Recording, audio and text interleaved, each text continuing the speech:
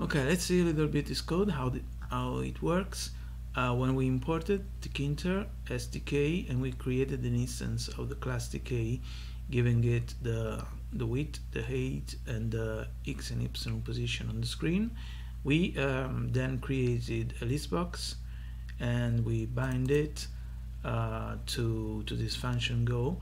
The, we used this uh, event listener, this list box select, so when um, an item of the list box is selected, uh, this action take place, this function, and then we put these three elements with this for loop into the list box with the method insert, and then we had a label uh, on uh, on the same window.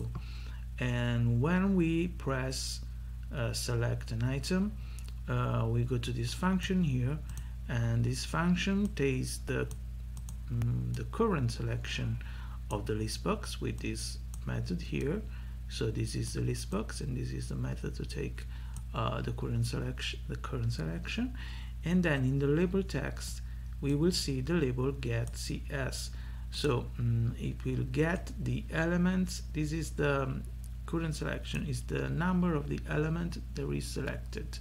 And uh, then we put into the into the label uh, the text of the of the of the item with uh, with the listbox dot get method giving it the number that we selected. And that's all for now